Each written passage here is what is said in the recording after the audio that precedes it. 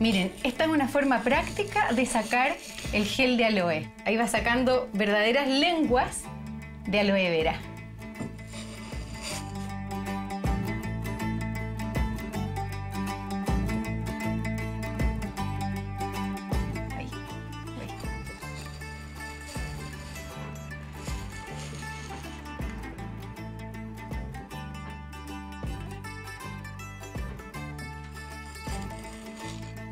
Que aprovecharlo todo porque es un verdadero tesoro.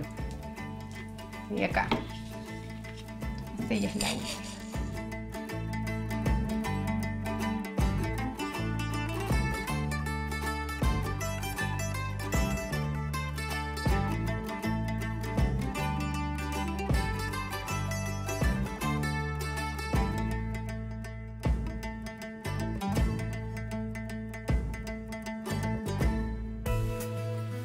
Tengo las paletas así, pues es una idea fácil de que suelten toda la aloína que va a quedar en el agua. Una sustancia que, como hemos visto, es muy beneficiosa, pero podría irritar la piel. La puedes dejar en la noche o simplemente cortar, sacar el gel y lavar con abundante agua, como en este caso. Para la salud de tu piel, la clave es la limpieza constante, una buena hidratación. Mañana y noche siempre limpiar, como las mujeres en Corea que tienen una piel alucinante.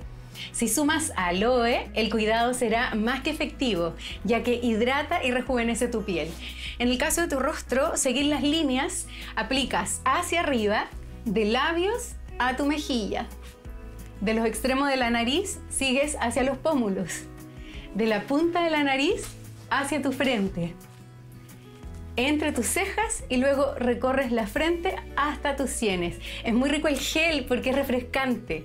Si quieres usarlo como gel, recordando que ya sacaste la aloína, que podría irritar, lo procesamos en la juguera.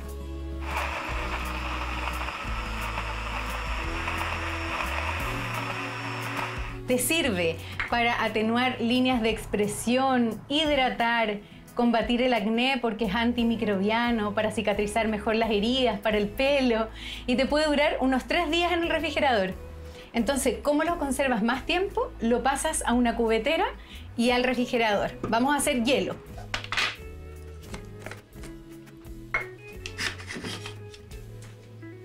Haces tu propio hielo de aloe. Porque el gel te podía durar unos tres días, ¿no es cierto? Pero si quieres tenerlo listo cada vez que quieras para usar, lo conviertes en hielo.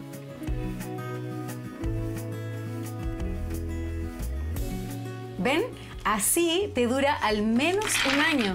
Tienes cubos de hielo con aloe vera. Si hay una lesión en la piel o tal vez una lesión en alguna parte de tu cuerpo, lo usas directamente y puede aliviarte.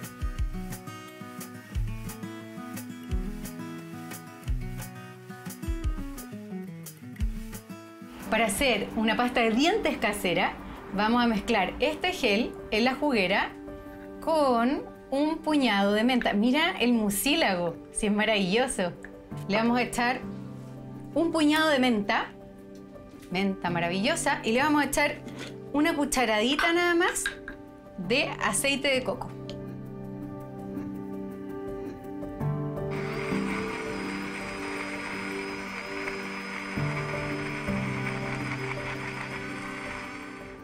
Aquí ya tenemos lista nuestra pasta de diente con efecto antibacteriano que va a cuidar la salud bucal.